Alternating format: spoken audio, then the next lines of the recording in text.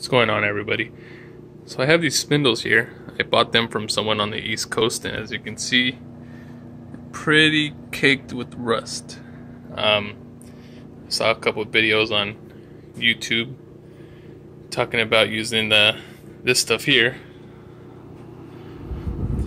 Evapo-Rust, and I see pretty some pretty good results with it. So I'm gonna go ahead and stick these in this bucket I'm actually going to leave them in there for a few days and then uh, we'll see how that goes. So I didn't really buy enough of the Evapo-Rust, but uh, I have one fully submerged in there and then one of the pieces for the ball joint down there. So once uh, the bottom one's done, I'll just go ahead and dunk the top one in and then we'll see if it works.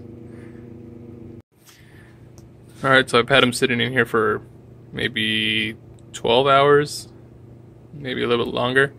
As you can see, the, the fluid's a lot darker. And that uh, ball joint's pretty clean.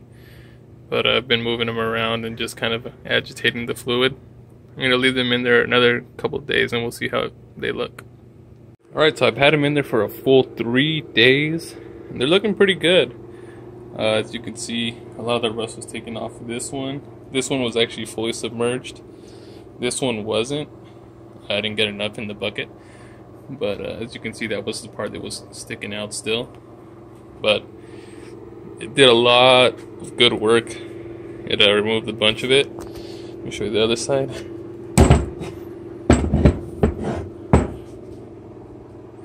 So even that side's a lot cleaner.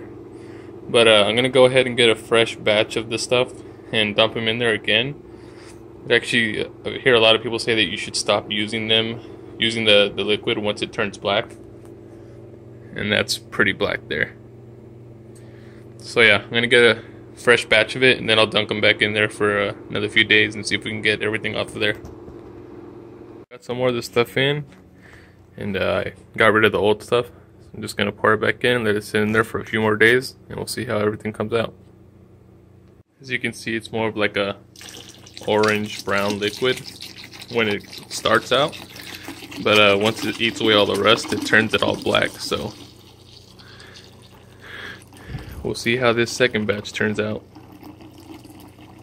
guys, so... Pull them out of the last uh, dip. As you can see, they're super clean now. All the rust is gone. Um, everything is super clean. So I'll just hit them with a coat of paint so they don't rust over again. But it's not big. That's not much of a problem here in Southern California. But eventually I'll get these modified to make them into drop spindles for my truck. But uh, yeah, really recommend that Evapo-Rust stuff. Worked really well. As you can see at the beginning of this video, these were horribly covered in rust. And now they're super clean and ready to be used again. So yeah, thanks for watching guys.